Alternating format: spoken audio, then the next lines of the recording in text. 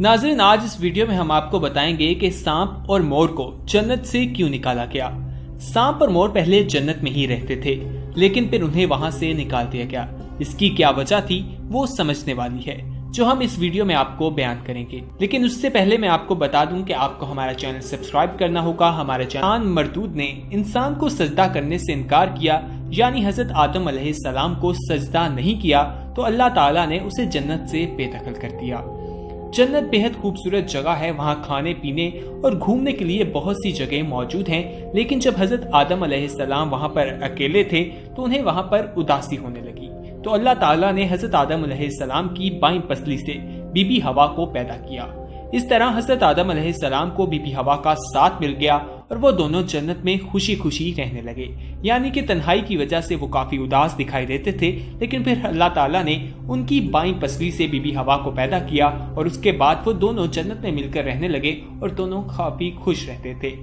अल्लाह ताला ने उनसे फरमाया कि तुम दोनों जन्नत में जहाँ मर्ज़ी जाओ, जो मर्ज़ी खाओ, जो मर्ज़ी करो, लेकिन खबरदार, इस दरख्त के पास ना जाना और ना ही इस दरख्त पर लगा फल खाना, वरना तुम जालुमों से हो जाओगे।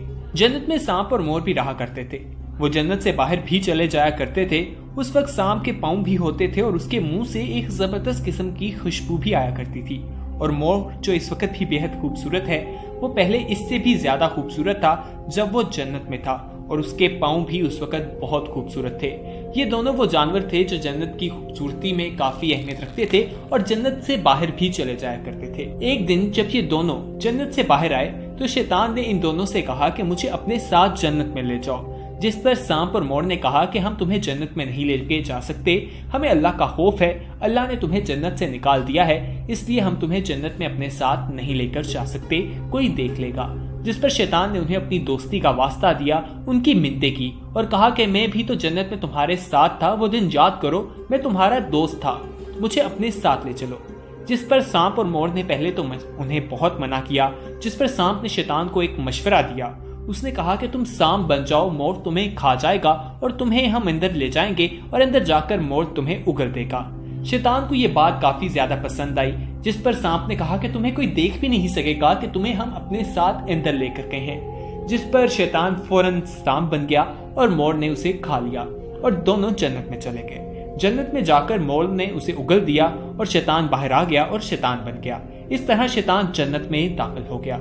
शैतान ने जन्नत में हज़रत आदम सलाम और बीबी हवा से मुलाकात की और उन्हें कहा कि मैं तुम्हारा खैर हुआ हूँ। तुमने जन्नत में अभी तक उस फल को क्यों नहीं खाया, जिस पर दोनों ने बोला कि अल्लाह ताला ने हमें उस तरफ़ से दूर रहने को कहा है और उस तरफ़ का फल खाने से भी मना किया है, इसलिए हमने वो फल अभी तक नहीं खाया और ना ही खाएँगे। जिस पर हज़रत आदम सलाम और हज़रत बीबी हवा काफ़ी मज़बूत दिखाई दिए और उन्होंने कहा कि वो अल्लाह के हुक्म की बेपरवाही नहीं करेंगे, यानी कि अल्लाह का हुक्म मानेंगे। लेकिन शैतान ने उन्हें ये बावर करवाया कि वो उनका खैर ख्वाह है, लेकिन उन्होंने उसकी कोई बात नहीं मानी। जब हज़रत आदम सलाम सो गए तो शैतान बीबी हवा के पास आया और उनको कहने लगा कि आप वो फल खाएँ, वो बहुत ज़बरदस्त है। उनको बहटकाने लगा और कहने लगा कि अल्लाह ताला ने तुम्हें वो फल खाने से इसलिए मना किया है कि कहीं वो फल खाने के बाद तुम लोग फरिश्ता ना बन जाओ और हमेशा के लिए जन्नत में ना रहने लगो। पहले तो बीबी हवा शैतान की बातों में नहीं आई, लेकिन शैतान ने जब बहुत दफ़ा कहा तो बीबी हवा शैतान की बातों में आ गई और उस दरख्त का फल उन्होंने खा लिया।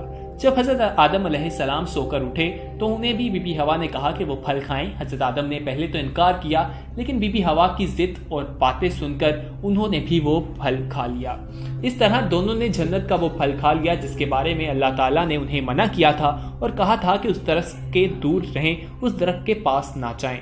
उस फल खाने के बाद उनके जिस्म पर लबास जो था, वो भी उतरना शुरू हो गया। अल्लाह ताला ने उन दोनों से कहा कि तुम्हें मैंने इसी वजह से कहा था कि इस फल को ना खाना और ना ही इस दरख्त के पास जाना।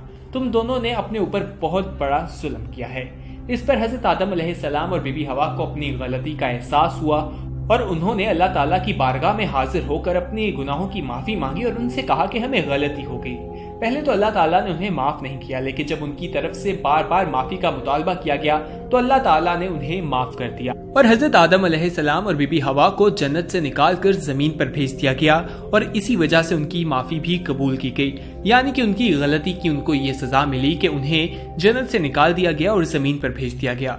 और कहा गया कि ज़मीन पर एक खास वक्त तक तुम्हारा ठिकाना है और तुम ज़मीन पर ही रहोगे।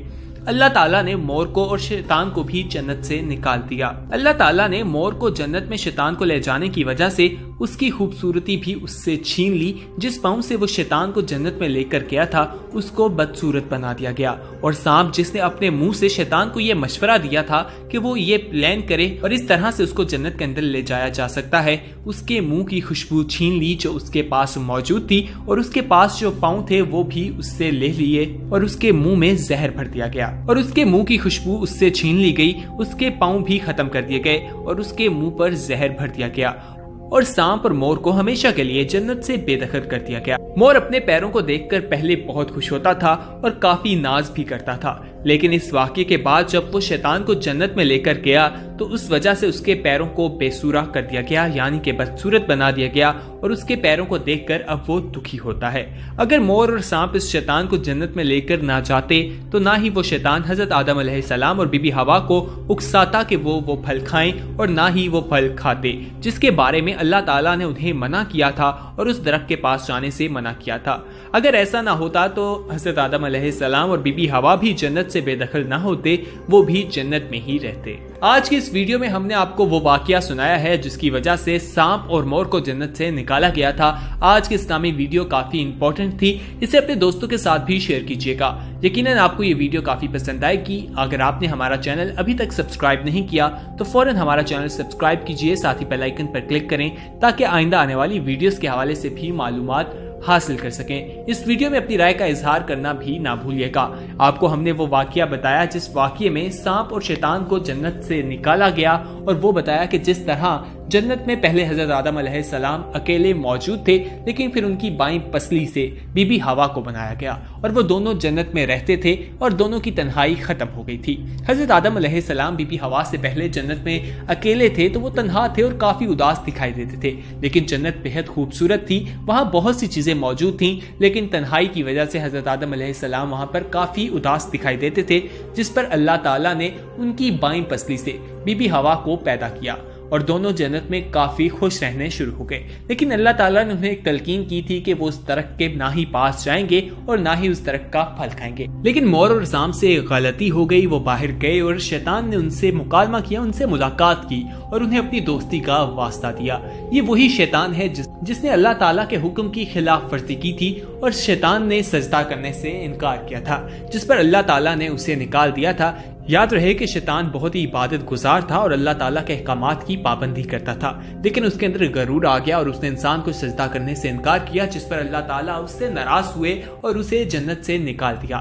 जब मोर और सांप जन्नत से बाहर गए तो शैतान ने उनसे कहा कि मुझे अपने साथ अंदर ले जाओ और अपनी दोस्ती का वास्ता दिया। पहले तो मोर और सांप ने उन्हें अंदर ले जाने से मना कर दिया, लेकिन बाद में वो उसकी बातों में आ गए। उसने उन्हें एक मशवरा दिया और उस प्लान के ज़रिए वो उसको अंदर ले गए। प्लान ये था कि शैतान सांप बन जाएगा, जिस पर मोर उसे खा जाएगा और अंदर जाकर उसे उगल देगा। इस तरह कोई देख ही नहीं पाएगा कि शैतान किस तरह से जन्नत के अंदर गया। लेकिन वो ये शायद जानते नहीं थे कि अल्लाह ताला हर चीज़ को देखता है। वो चीज़ जो नज़र आ रही है और वो जो चीज़ जो छुपी हुई है, वो भी अल्लाह ताला देखता है। अल्लाह ताला से कोई भी चीज़ छुपी नहीं होती। शैतान अंदर गया और उसने हज़रत आदम सलाम और बीबी हवा से मुलाकात की और उन्हें कहा कि मैं तुम्हारा खैर ख्वाह हूँ और तुम्हें जन्नत के उस फल के हवाले से बताऊँगा जो फल तुम लोगों ने नहीं खाया। वो फल अल्लाह ताला ने तुम्हें खाने से इसलिए रोका है क्योंकि अगर तुमने वो खा लिया तो तुम फरिश्ते बन जाओगे और हमेशा के लिए यहाँ रहोगे। जब उसने ये कहा तो हज़रत आदम सलाम ने ऐसा करने से इनकार कर दिया और बीबी हवा ने भी ऐसा ही किया। लेकिन जब हज़रत आदम सलाम सो गए तो शैतान ने मौके का फ़ायदा उठाया और बीबी हवा के पास आया और वही बातें उन्हें दोबारा कहने लगा, उन्हें बहकाने लगा। बीबी हवा उसकी बातों में नहीं आई, लेकिन जब शैतान ने बहुत ज़्यादा उन्हें कहा तो बीबी हवा भी शैतान की बातों में आ गई और उन्होंने वो फल खा लिया। और जब हज़रत आदम सलाम बेदार हुए तो उन्हें भी ज़बरदस्ती वो फल खिलाया। उन्हें रजामंद किया कि वो फल ये खाएँ, क्योंकि शैतान के मुताबिक अगर ये फल हम खा जाएँगे तो हम फरिश्ते बन जाएँगे और हमेशा के लिए जन्नत में रहेंगे। वो फल खाने के बाद उन पर कुछ असरात हुए। उनका जन्नत का लिबास जो है वो उतर गया। अल्लाह ताला ने जब ये चीज़ें देखी तो उन्हें कहा कि इस वजह से मैंने तुम दोनों को मना किया था कि तुम दोनों ने ये फल नहीं खाना। तुम दोनों ने अपने ऊपर बहुत बड़ा जुल्म किया है। इस पर हज़रत आदम सलाम और बीबी हवा ने अपनी गलती का एहसास हुआ और अल्लाह ताला से इस अपने गुनाह की माफ़ी मांगी। अल्लाह ताला के दरबार पर हाजिर हुए, अल्लाह ताला की बारगाह में हासिल हुए और अपनी गलती पर माफ़ी मांगी। हज़रत आदम सलाम और बीबी हवा को जन्नत से निकाल दिया गया और ज़मीन पर भेज दिया गया। यानी कि उनकी माफ़ी कबूल की गई, लेकिन उन्हें जन्नत से निकाल दिया गया और कहा कि ज़मीन पर एक खास वक्त तक तुम्हारा ठिकाना है और तुम ज़मीन पर ही रहोगे। अल्लाह ताला ने मोर को भी और सांप को भी जन्नत से निकाल दिया, क्योंकि अल्लाह ताला ने मोर को जन्नत में शैतान को ले जाने की वजह से उसकी खूबसूरती भी उससे छीन ली और जिस पाँव से वो शैतान को जन्नत में लेकर गया था, उसको बदसूरत बना दिया और सांप जिस मुँह से शैतान को यह मशवरा दे रहा था कि वो सांप बन जाए, जिस पर मोर उसे खा जाएगा और अंदर जाकर उसे उगल देगा। उसे के, उसी मुँह को खुशबू उससे छीन ली गई और उसके मुँह में जहर भर दिया गया। और सांप और मोर को हमेशा के लिए जन्नत से निकाल दिया गया। उनको जन्नत से बेदखल कर दिया गया और इस तरह मोर और सांप जन्नत से निकाल दिया